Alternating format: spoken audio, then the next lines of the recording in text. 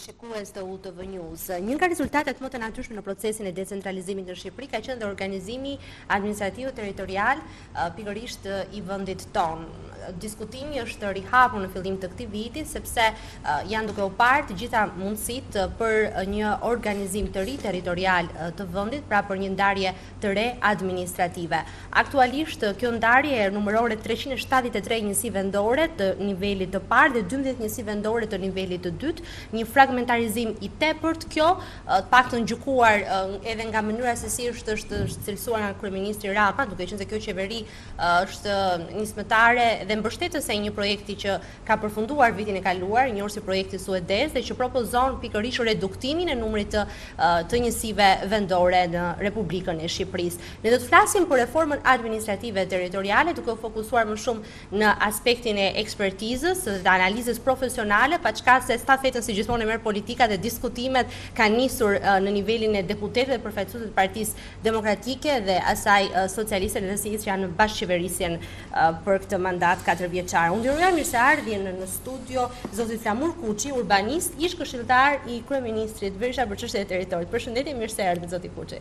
Gjithashtu dhe Gjergji Duron, ekspert për çështjet e pushtetit vendor, por njëherësh dhe ish kryetar i Bashkisë së Korçës. Përshëndetje, mirë se erdhët. Faleminderit. Kënaqësi që ju kam në studio, sepse unë ju prezantova në pozicionin e parë që është më i rëndësishmi ai i ekspertit, sepse është e rëndësishme të dëgjojmë opinionin e ekspertëve sa kohë që jemi në fazën e diskutimit. Pra ende nuk është një draft përfundimtar i cili ka kaluar në parlament dhe aty më pas do të dëgjojmë edhe objeksionet e të dyja palëve. Por fillimisht Njihemi me një material i cili bën një lloj shpjegimi të gjithë ndryshimeve që ka pësuar ndarja territoriale e Shqipërisë që pas viteve nëntëdhjetë me reformën e vitit dy mijë e një ajo që njohim dhe sot në ndarjen aktuale për të mbërritur deri tek detajet e këtij projekti pra të projektit që parashikon një ridimensionim të numrit të njësive vendore në Republikën e Shqipërisë. Ndjekim insertin e rivijmë pas pak në studio.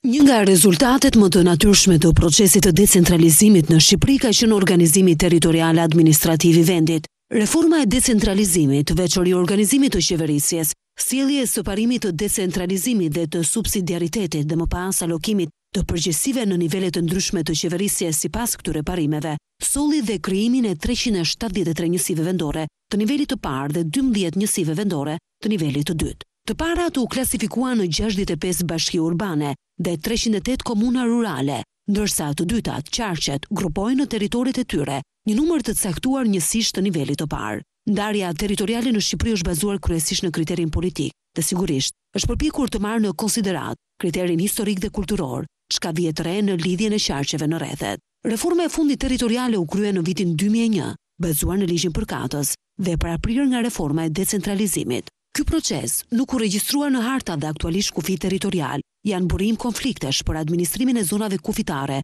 midis njësive vendore fqinje. Arsye të tilla si konfliktet e mësipërme, efiçenca e munguar në ofrimin e shërbimeve publike, kriteret për ndarjen aktuale, jo të peshuara në mënyrë të balancuar, lidhja me elektoratin e të tjerë, kanë ushqyer ndër vite iniciativa të forcave politike dhe përfaqësuesve të shoqërisë civile në lidhje me rishikimin e kufijve territorialë. midis njësive vendore. Por pyetjet që shtrohen për diskutim aktualisht kur kjo reformë pritet hartohet dhe të depozitohet më pas në parlament janë, përse duhet të ndodhë një reformë e tillë, në çfarë konteksti politik po diskutohet dhe nëpër cilat hapa duhet kalojë ajo. Dy mijë e katërmbëdhjetë është viti i parë i kësaj mazhorance të re qeverisëse dhe reforma administrative territoriale është një ndër objektivat që ministritë e linjës po punojnë intensivisht për ta përmbushur, jo vetëm si detyrim të trashëguar, por njëherësh edhe si një pjesë e një çështje që duhet zgjidhur përpara zgjedhjeve vendore të vitit që vjen. Qeveria Rama mbështet studimin e Agjencisë Suedeze për Reformën Administrative Territoriale, që parashikon të mbeten vetëm njëqind njësi vendore. Kryeministri Rama ka shprehur mbështetjen e tij për këtë plan. Fragmentarizimi i tejskajshëm i njësive vendore, gjendja me të cilën përballemi sot, përbën, le ta themi hapur, një copëzim asfiksues dhe rëndom vrastar të trupit të Shqipërisë. Nga ky copëzim lindin të vdekura shërbimet publike në shumë hapësira të vendit dhe dëmtohet pa pushim potenciali zhvillimor i këtyre hapësirave, ndërkohë që njësi vendore krejt të paqëndrueshme ekonomikisht, vazhdojnë të jetojnë një agoni në kushte fondesh buxhetore që sigurojnë vetëm vazhdimin e agonisë. Dhe janë jo pak, por rreth pesëdhjetë për qind e bashkive dhe e komunave të vendit. Po ashtu, rrjedhojë e këtij fragmentarizimi janë njësi vendore me numër shumë të vogël popullsie që ç'është e vërteta të vetmin funksion që kryejnë kanë shpërdorimin e fondeve buxhetore për një administratë sa të fryrë artificialisht aq edhe krejtësisht të padobishme për qytetarët në kushtet e mungesës së plotë të çdo mundësie tjetër financiare përveç pagën ndaj kësaj administrate. Reforma administrative territoriale parashikon që qarqet do të shndërrohen në rajone. Vendi do të ndahet në gjashtë rajone të mëdha, që do të përfshijnë tri qarqe e që do të ndahen sipas kryesisht përcaktimit gjeografik. Studimi suedez, i kryer një vit më parë, gjatë periudhës së qeverisjes së Partisë Demokratike, ka arritur në konkluzionin se vendi nuk duhet të ketë më shumë se njëqind njësi administrative. Por e para që bën publik shqetësimin dhe dyshimin e saj për këtë iniciativë është opozita aktuale. me argumentin se ky studim nuk ishte pranuar nga socialistët gjatë kohës që ata ishin në opozitë, Partia Demokratike shprehet skeptike në lidhje me reformën në fjalë. Palët ndajnë qëndrime të kundërta edhe për metodologjinë që do të udhëhiqet ky proces, i cili për demokratët deri më tani rezulton që diskutimi të ketë nisur në mënyrë të njëanshme. Reforma territoriale kërkon një shumicë të cilësuar në parlament që kjo mazhorancë e ka, por për opozitën përdorimi i forcës së kartonit është një shenjë e cënimit të reformës zgjedhore, Kodi i së cilës u miratua me konsensus në vitin dy mijë e dymbëdhjetë.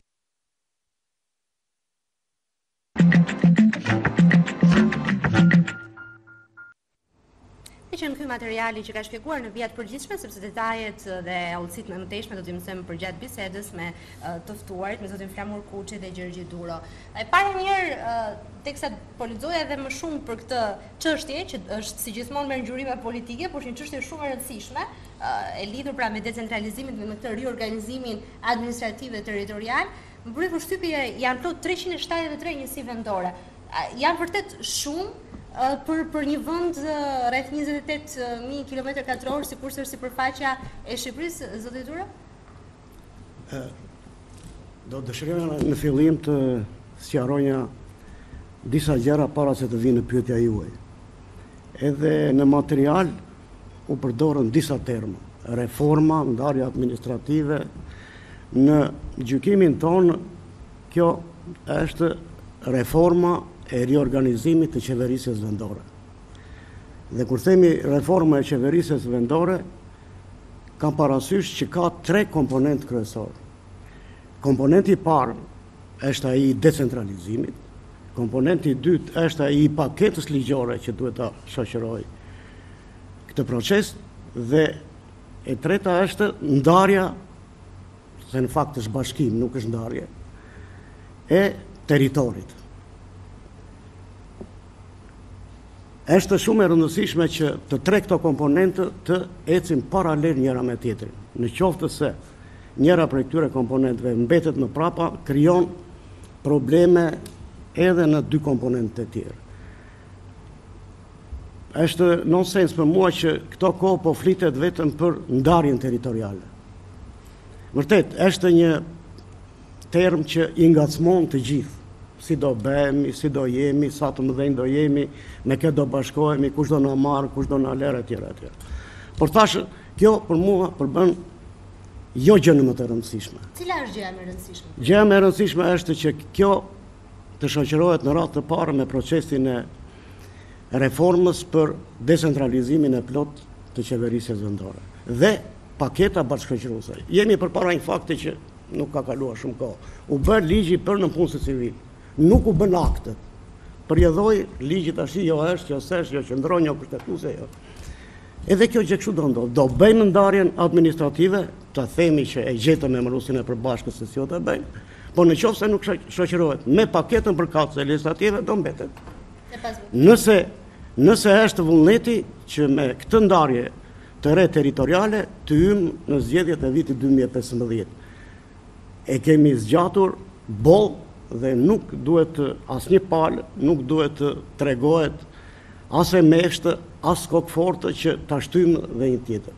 Tendenca e parë ka qenë në vitin dy mijë e dy, dy mijë e katër, kaluan dhjetë vjet që atëherë dhe i rikthehemi. Mirë, unë ju pyeta për numrin treqind e shtatëdhjetë e tre duke qenë se ju si ekspert i çështjeve të pushtetit vendor, me siguri edhe si ish kryetari i bashkisë së Korçës, keni dhe një lloj familjariteti më të madh me këtë numër që nuk e di nëse shkon për shtat apo jo dhe është pastaj e lidhur ngushtë edhe me çështjen e kostos së lartë ekonomike me këtë ndarje kaq të madhe të njësive vendore për një vend të vogël si Shqipëria, apo jo? Është ekzaktësisht siç thatë juve. Fragmentarizimi i skajshëm, po them, i skajshëm, në mënyrë të veçantë i komunave, ka sjellë këtë situatën në të cilën dhe eksperienca gati 12 vjeçare ose më mirë të them 14 vjeçare që kur kanë filluar të funksionojnë plotësisht niveli i parë i qeverisjes vendore, është e mjaftueshme që të Jo thjesht si numër, nuk është problemi në numri. Problemi është që ne sot kemi njësi tepër ineficiente. Të them një shembull të thjesht, nga 300 e ca komunat që përmendët juve, janë rreth 100-110 që me të ardhurat e tyre dhe me shpenzimet dhe me grantet që jep shteti nuk arrijnë të përballojnë as rrogat e tyre. Imagjino, qëllimi kryesor i tyre është t'ju shërbejnë komuniteteve, ata nuk i shërbejnë dot vetes së tyre. Atëherë përse duhet kjo?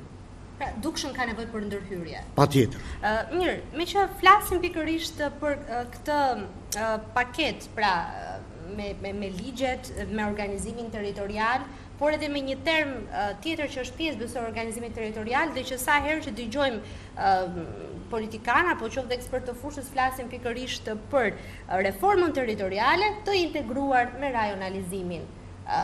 Përse këto dy koncepte shkojnë bashkë me njëra tjetrën? Çfarë nënkupton njëra dhe tjetra? Për të kuptuar këtë, do të thotë, është e vërtetë ajo që thotë zoti Duro.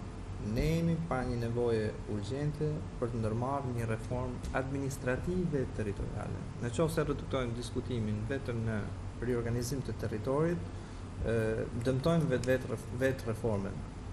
Ne duhet të ndërmarrim një iniciativë, do të thotë Shqipëria, është në një kontekst të tillë që e ka sfidë për të ndërmarrë një lloj iniciative që të riorganizojë Mënyrën e ndarjes së pushtetit midis pushtetit qendror dhe pushtetit vendor, të thellojë të gjitha proceset decentralizuese që kanë nisur, që kanë vazhduar, që shpeshherë nuk kanë njohur, si të thuash, atë ritëm të duhur,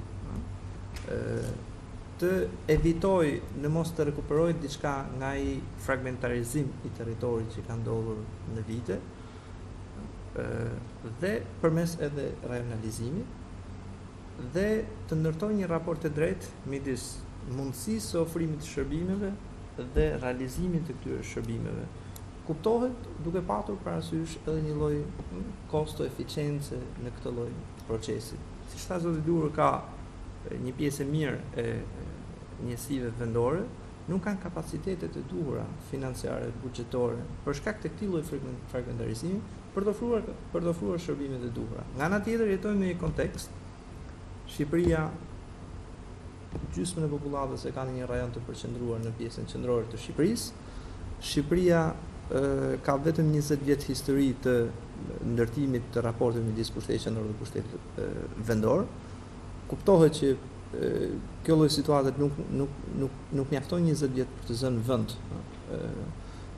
Ka shtete. Është thjesht çështje kohe mendoni ju apo ka munguar edhe edhe vullneti për të bërë gjërat si duhet? Jo, në sensin patjetër që ka, patjetër që është gjithmonë çështje vullneti. Është çështje vullneti politik. Nuk e vë në diskutim. Mhm. Po po them, pushteti vendor ka vetëm 20 vjet eksperiencë dhe është e tepër të pretendosh brenda 20 vjetëve që pushteti vendor ka ndërtuar kapacitete duhet të kishte ndërtuar kapacitetet e duhura. Ka vende që janë para sfidës së reformës administrative territoriale, si puna e Italisë sot, që ka dyqind vjet histori dhe kur vjen fundi, domethënë e kanë të domosdoshme këtë gjë. Pra po justifikoj nevojën për të ndërmarrë këtë lloj reforme. Dhe sot ka shanset paraqiten një çik më të mëdha se herë të tjera për shkak edhe numrit a afër numrit të nevojshëm për të ndërmarrë një reformë të tillë dhe është nga kjo pikëpamje duhet përshëndetur së pari iniciativa dhe sfida për të ndërmarrë këtë lloj reforme. Konteksti është i tillë që ke një përqendrim të popullatës në pjesën qendrore të Shqipërisë, që nuk e kishe para njëzet viteve, ke dinamika të ndryshme rajonale që nuk i ki, nuk i kishe para 20 viteve. Sot rajonet periferike të Shqipërisë nuk janë më ato 12 orëshe të larg, po janë rajoni Korçës është vetëm 2 orë larg, rajoni Verilindor është vetëm 2-3 orë larg, rajoni Juglindor që ishte 12 orë larg është. Pra duhet menduar pak riorganizimi i mënyrës së ofrimit të shërbimeve ndaj këtyre distancave dhe kjo nuk bëhet dot Vetëm me një riorganizim territorial. Duhet patjetër që kur të mendohet reforma, të mendohet nga pikëpamja administrative, pra mënyrën se si ofrohen shërbimet, mënyrën se si ndahet roli dhe autoriteti midis pushtetit qendror dhe pushtetit vendor. Nuk jemi tabula rasa, ka një eksperiencë, ka pasur edhe eksperiencë pozitive, duhen thelluar disa procese. por ka të nevojshme ndërmarrjen e këto kësaj lloj reforme dhe vetë jo vetëm reduktimin e gjithë diskutimit në një riorganizim territorial. Ka risqet e veta, sepse diskutimi është edhe politik, është e vërtetë, dhe fatkeqësisht sot konstatohet që rrezikojmë që të shkojmë drejt një debati ku palët të futen në istikamin e tyre politik duke diskutuar thjesht interesat e ngushta elektorale, do të thonë, Gjëja bazë është nëse partitë politike e konceptojnë gjën thjesht si një reformë për të akomoduar interesat e ngushta politike dhe është risku i lartë që kjo të ndodhi nga të dyja palët, nga të treja palët, kjo do të dëmtonte vetë reformën dhe do të dëmtonte sukses, suksesin e reformës dhe nuk jemi gjithmonë para këtij shansit për të ndërmarrë një reformë të tillë. Mirë, ju përmendët disa elemente të cilat unë do doja t'i specifikoja, a mund të cilësohen këto kritere, pra kur flasim për nevojën e një ndërhyrje, një nevojë ndoshta mund të themi dhe edhe emergjente ë dhe për shkak të kësaj që ka njësi vendore parazitare që nuk kryejnë funksionet e tyre, që vetëm rëndojnë barrë në në buxhetin e shtetit apo në forma të ndryshme financimi, në në këto kushte, cilat do të jenë kriteret, pra nga duhet të nisim për të hartuar një reformë dhe që kjo të rezultojë e kënaqshme. Para se të vijmë në kriteret, është një diçka tjetër që duhet të modelohet, pra modeli. Cili do të jetë modeli që ne do aplikojmë? Ju nuk ndihmojnë kriteret në përcaktimin e modelit? Jo, përcaktohet modeli, mhm. pastaj për këtë model thuhet që të vijmë në ky model, kemi këto kritere. Ne në kuadrin e Shtetiweb jemi angazhuar për të bërë një diçka të tillë. Dhe është shumë e rëndësishme se ju e pyetët po jo e, e plot tabloja. Në model, për shembull, do përcaktosh që me sa nivele do jetë qeverisja vendore, me një apo me dy. Kush do ta kryej rolin e nivelit të dytë? Në gjykimin tonë, rolin e nivelit të dytë duhet ta krijojnë rajonet, duhet ta luajnë rajonet. Sot ka një mendim gati unikal që qarqet që kemi dështuan. Po pse dështuan? Vjen ajo që tha zoti Kuçi. Qarqet dështuan, jo se s'deshin qarqet. Qartet dështuan sepse politika nuk i la të ngrejnë kokë. Qarqet duhet të shërbenin si ripa transmisioni midis qeverisë kryesore dhe qeverisë të nivelit të parë. Asnjëra palë nuk e deshte. Pra as niveli i parë nuk e deshte qarkun, sepse ishte kontribues në ai, dhe as qeveria nuk e deshte, deshte ta kapërzente të vinte direkt në niveli i parë. Atëherë, mbi bazën e kësaj përvoje, cili do jetë modeli që do aplikojmë? Me një nivel apo me dy nivel? Pastaj vjen kriteri që po të jemi me një nivel, numri i njësive vendore do jetë i kufizuar, se s'ka nevojë Po qe se bëhen pesëdhjetë, gjashtëdhjetë, apo siç është një studim me tridhjetë e gjashtë, siç kanë qenë rrethet dikur, atëherë përse duhet niveli dy?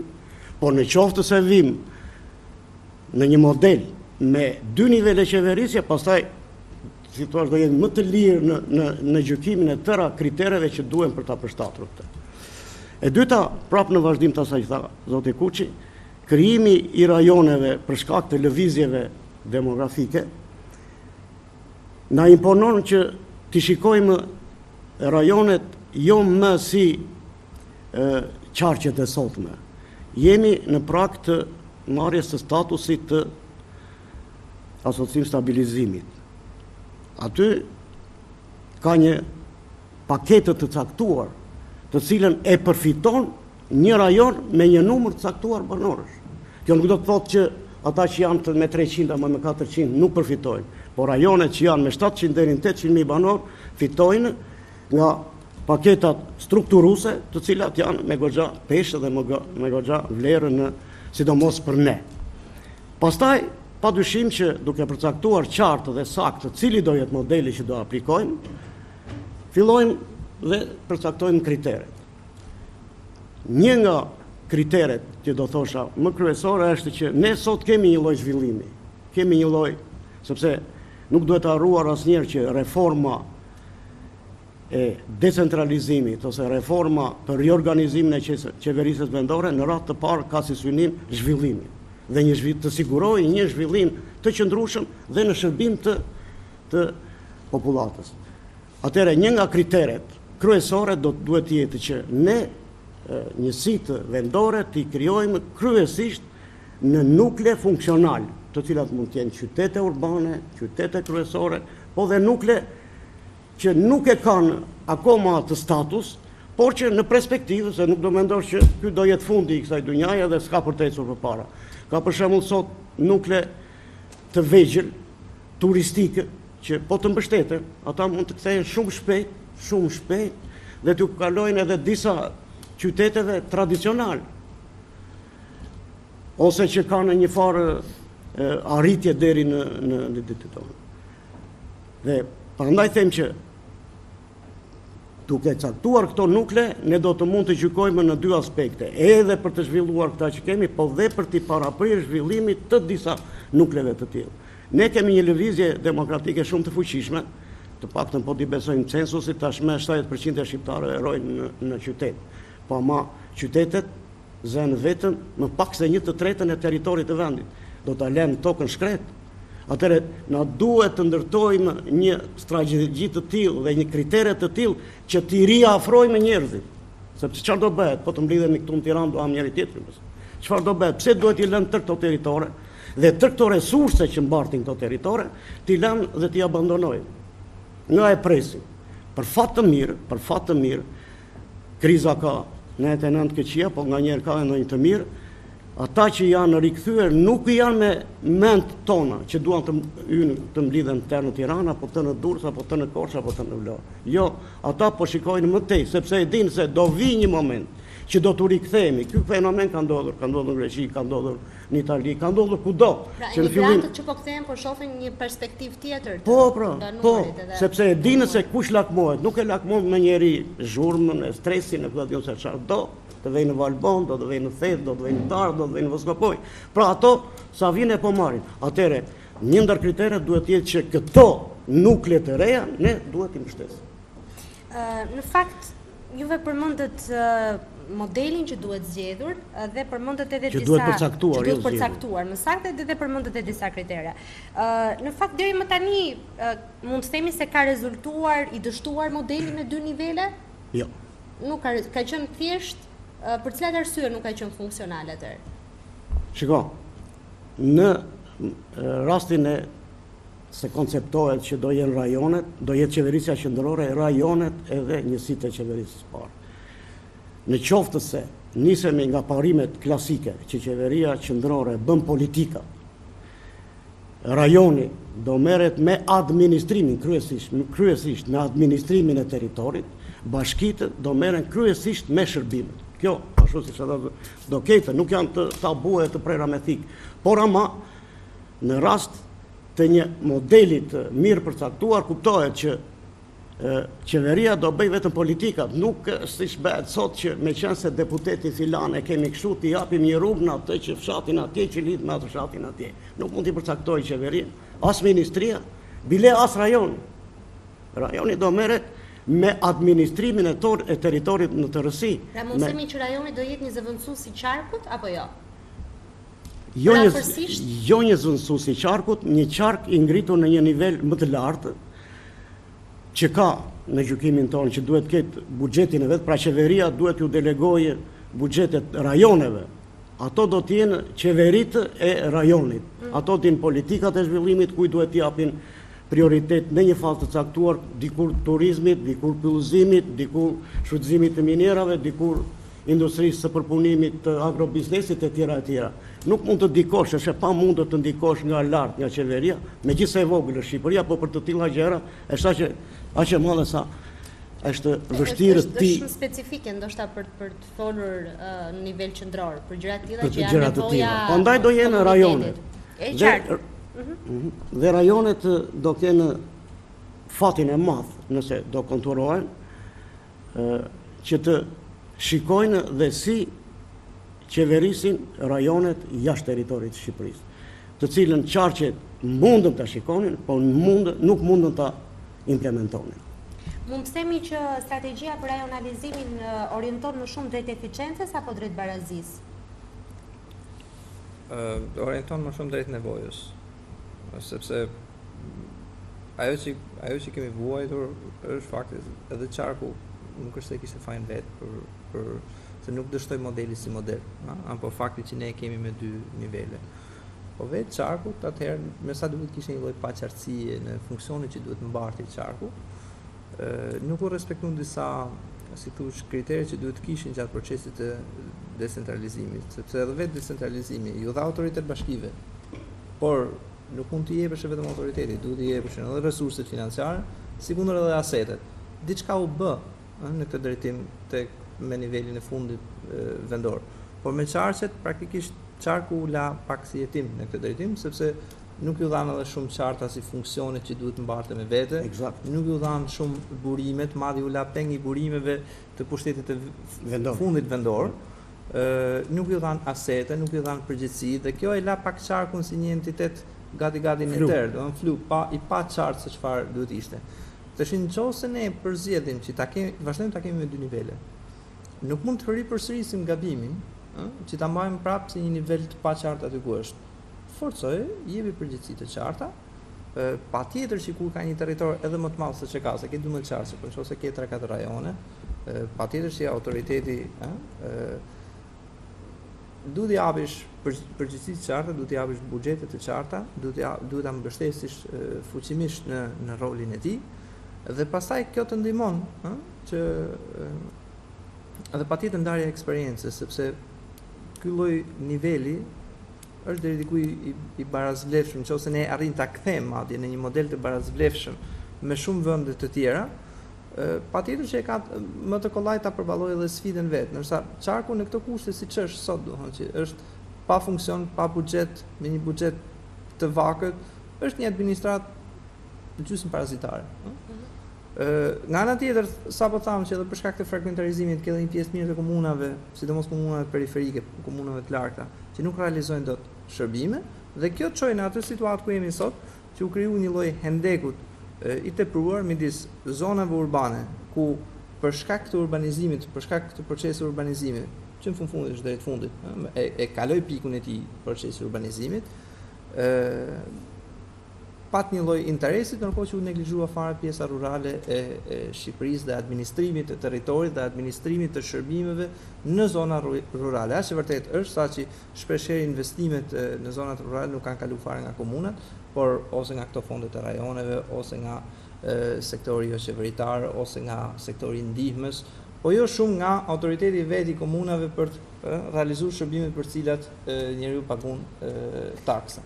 Unë do të doja që të ndaleshim pak tek plani suedez. Në fakt, pashmangshmërisht, orientimin e vëmendjes s'e bëjnë pikërisht politikëbërësit dhe nga goja e tyre kemi dëgjuar më së shumti apo më shpesh të ashtuquajturin plan suedez. Ndoshta për zotin Kuçi mund të jetë edhe më familjar, sepse ky studim është bërë vitin që kaloi.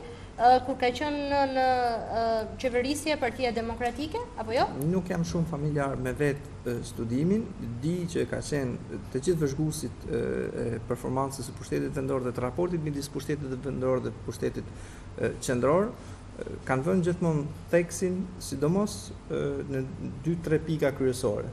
Një është thellimi i gjitha proceseve decentralizuese, pra në qoftë se ti pretendon që pushteti lokal të japë, shërbime dhe të performojnë duhet mbështetur me autoritet, me buxhete, me asete. Një, dhe gjithmonë është vënë theksi në këtë aspekt. Dy, raporti, si thush, autoritet eficiencë, që vetë to pushtetin vendor duhet të ndërtonte një raport të drejtë. Kjo çon pastaj edhe në diskutimin që ka shumë entitete që janë deri diku parazitare nga ato që vetëm paguhet vetëm për administratën, po pa arritur të kenë buxhete për të ndërtuar shërbime. Dhe kjo ka ndodhur, siç e thash, për shkak të këtij fragmentarizimit të tepërt që ka. Po, nëse do të referohemi këtij projekti, do të thotë që ky ka diçka të veçantë apo jo? Ky projekt se flitet gjithë kohës për për një projekt të tillë dhe mazhoranca aktuale e mbështet këtë projekt. E para, nuk është vetëm, në këtë kuadër janë bërë shumë studime, studimi i Suedisë është njeri prej tyre, ka bërë me mbështetjen e qeverisë zvicerane nga kooperacioni zviceran, USAID-i ka bërë në mënyrë të veçantë për decentralizimin fiskal. Pra janë shumë. E veçanta e, e studimit suedez është që është bërë me, si të thuash, në bashkëpunim dhe me kërkesë të shoqatës të komunave. Dhe ata ata ndihen më me siklet në këtë moment në në kuadrin e kësaj reforme. Dhe në atë është përcaktuar një numër që numri i komunave mund të lëvizë nga 100 deri në 120. Por pavarësisht kanë analizuar shumë anë Dhe në parim bien dakord edhe ata që vetëm ky fragmentarizim nuk mund ta çojë as zonën rurale në zhvillim. Për kuriozitet po shikonja dje si mund të ashtu komunat e, e ish-rrethit të Pogradecit, në dy komunat malore, bashkia mblidhte të ardhura, dhe me të ardhurat e vet i takonte e veta, i takonte çdo banori të komunës dyqind e tetëdhjetë e një lekë të reja, domethënë asnjë paqet cigare, tash çfarë mund të bëhet? Kuptohet që duke marrë në analizë ata nuk janë treguar për hir të së vërtetës radikal në këtë drejtim dhe radikalizmi është i dëmshëm në në në çdo rast, kanë dhënë një numër të moderuar, por më shumë për hir të një fakti tjetër. Siç e përmendët juve, janë 300 e kusur komuna. Të hidhesh kështu, si thonë, nga trampolina me kokë brenda, nuk i bie nga 300 të vish në 30. T'i zvogëlosh këto dhjetë herë. Është momenti fillestar, sidomos, i menaxhimit dhe asnjë nuk e ka bërë në mënyrë kaq drastike, ne s'kemi pse të jemi kaq drastik. A do jenë 100 apo 120 sa thonë suedezët. Do jenë 30, sa ç'po them unë këtu. Apo do jenë 70 këtë, do ta përcaktojnë ato kritere, çfarë do më japësh? Çfarë funksione do kem? Çfarë kompetenca nëpër tavolina që kemi organizuar në kuadrin e shtetit veb?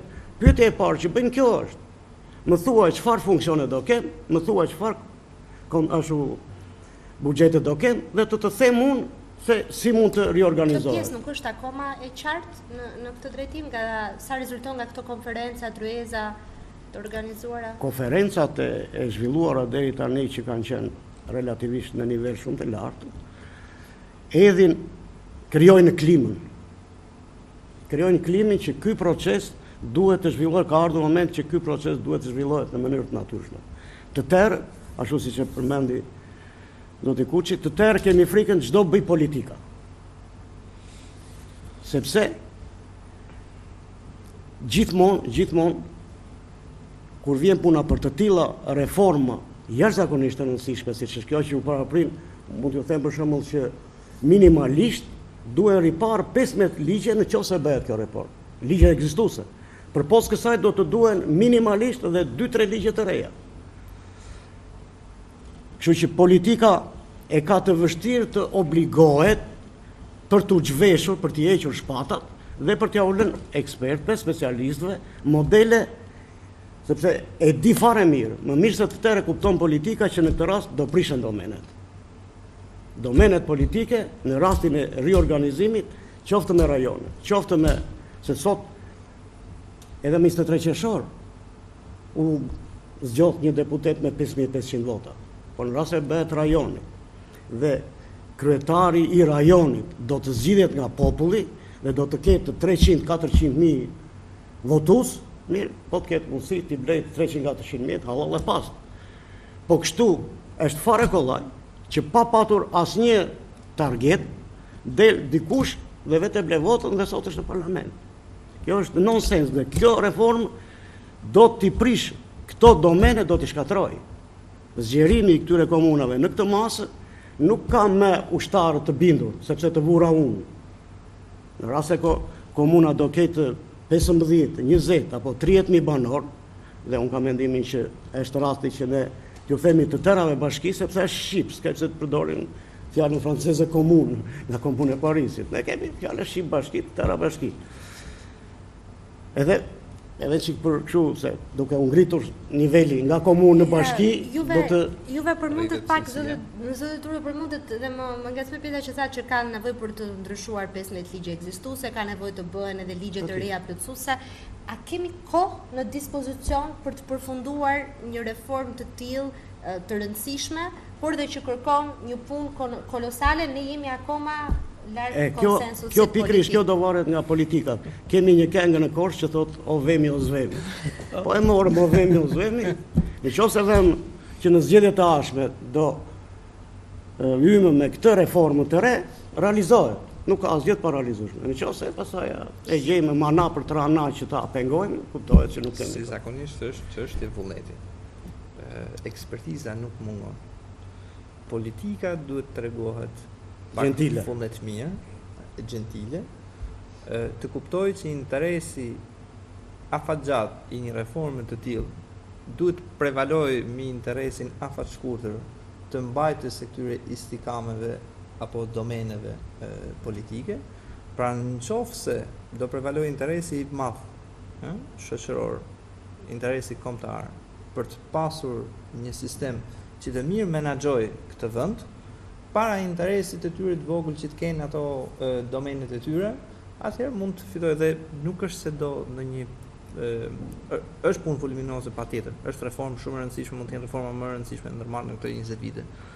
Patjetër që do prekë ë një seri ligjesh, duhet të krijojë ligje sepse lidhet me me të gjitha aspektet e e, e, e menaxhimit ë dhe të qeverisjes.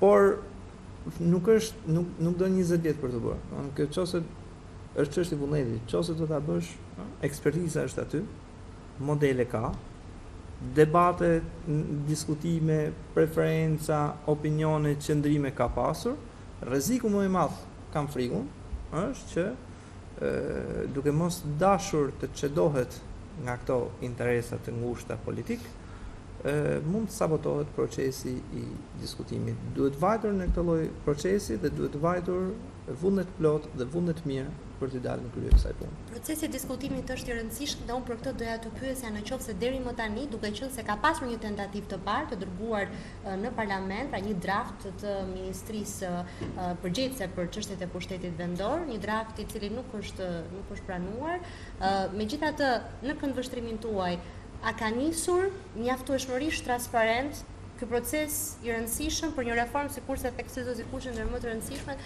në këto njëzet vjet? Për të qenë të saktë, draft në parlament nuk ka vajtur.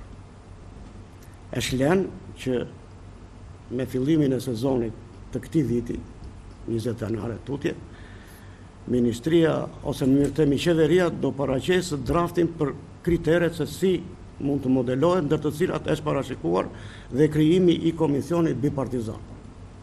Pra me pjesëmarrjen e të dy forcave. Ë ju thatë a është gjithçka tash deri tashi transparente.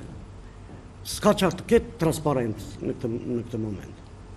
Domethënë transparenca fillon në momentin që do vejë çështja në komision, që atje çështja bëhet transparente, sepse s'është se është bërë një plan që do jenë, të themi, 100 bashki, edhe këtë planin e mban dikush në sirtar, të kalojë kjo kohë dhe pastaj ja ky është. Jo, s'ka një gjë të tillë. Ne për shembull jemi ftuar si shtetweb për të bërë një model alternativ deri në ndarje territoriale. do t'i shërbejë, do ta marrë parasysh politika, do ta marrë parasysh qeveria, apo nuk do ta marrë, kjo është punë e tyre. Ne jemi pajtuar pikërisht për këtë punë. Dhe ne... Çfarë do të jenë sugjerimet tuaja në këtë drejtim? E para ne kemi filluar ndryshe nga sa do ta fillojë qoftë qeveria, qoftë komisioni bipartizan. Ne kemi filluar nga poshtë.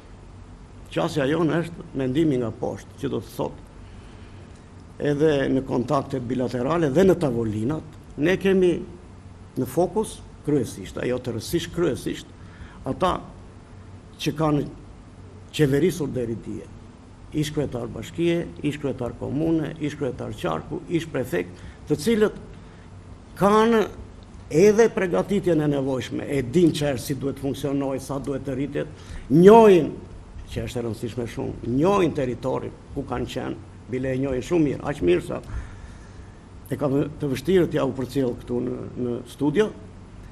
Dhe mandej ë do kalojmë në një tavolinë ekspertësh, duke filluar nga firmat e pastrimit, të tëra llojet e shërbimeve që ofrojmë, si do organizohen të gjitha, shërbimi i furnizimit me ujë, shërbimi i pastrimit, shërbimi i gjelbërimit etj etj.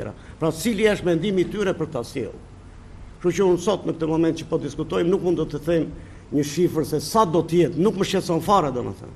Mua më shqetëson logjika si do funksionojnë. Pa do dalin 70, 100 apo 120, nuk përbën asnjë gjë. Asnjë nuk më shqetëson.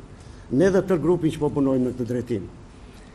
E rëndësishme është që Dhe kjo punë që kemi bërë ne deri tash, jo vetëm që ka ngjallur një interes të jashtëzakonshëm, unë kam patur raste të merrem dhe me projekte të tjera, po projekt ku njerëzit të vijnë kaq të predispozuar e të flasin me kaq përgjegjësi për mendimin që japin, të jetë të jetë i saktë dhe mos prek asnjë, sa Nuk kam parë në në në diskutimin e... Se prek drejtpërdrejt interesat e vetë njerëzve. Jo, jo se prek, por se shikojnë ka dy aspekte. E para, të tërë duam të qeverisemi më mirë. Plastë ai që nuk do të qeveriset më mirë. Dhe e dyta, e shikojnë po s'ndodhi e shikojnë një shans të humbur. Dhe domethënë janë mobilizuar të tërë për të bërë edhe ndarje të saktë, dhe model të saktë, dhe funksione të sakta, dhe kompetenca të sakta. Të qëndrojmë, të qëndrojmë në këtë pikë, meqë thatë po s'ndodhi, do të thotë që do të kemi për të humbur në këtë drejtim, e për të kuptuar se çfarë, çfarë ndodh edhe me pjesën tjetër, hipotetike, në qoftë se vullneti mungon, diskutimi dhe debati ndizet në atë pikë sa që merr shumë kohë, sikurse përvoja ka treguar gjatë këtyre viteve, ju jo për këtë reformë, por dhe për gjëra të tjera, e kemi arritur në atë pikë sa nuk kemi përmbushur, ose kemi bërë diçka të nxituar, brenda limiteve të fundit, duke qenë se kemi dhe zgjedhjet vitin që vjen. Nuk duhet shumë për të komprometuar objektivat dhe suksesin e kësaj reforme.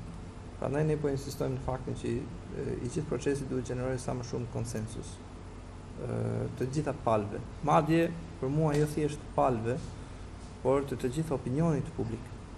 Pse? Mos harrojmë që ka mekanizma ligjorë të kontestit të mundshëm. të opinionit publik në qoftë se reforma nuk reflekton nevojat reale të opinionit publik. Prandaj ne ne të dy dhe në përgjithësi ekspertët synojnë pranojnë faktin që i duhet të kenë, si të thuash, mirëkuptim mes palëve, sepse është reformë që prek çdo aspekt të administrimit dhe për këtë shkak rreziku është shumë i lartë që të kenë të gjenerojnë edhe dhe konsensusin e duhur.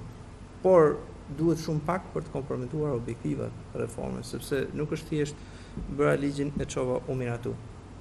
Suksesi apo dështimi nuk varet nga miratimi i saj, varet nga një seri gjërash, një seri që duke filluar që nga ato kriteret, që nga përzgjedhja e modelit, që nga kriteret, që nga balancimi i mirë i autoritetit me modelin dhe me kriteret që ke përzgjedhur e me radhë. Në qoftë se kjo shtrihet mirë në një plan për të cilin e them që në start ekspertiza nuk mungon, ekspertiza është aty.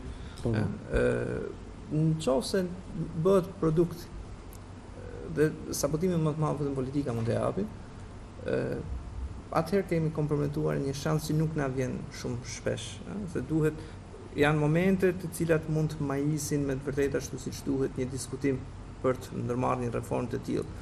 Nuk bëhet kjo reformë kur do që duam ne.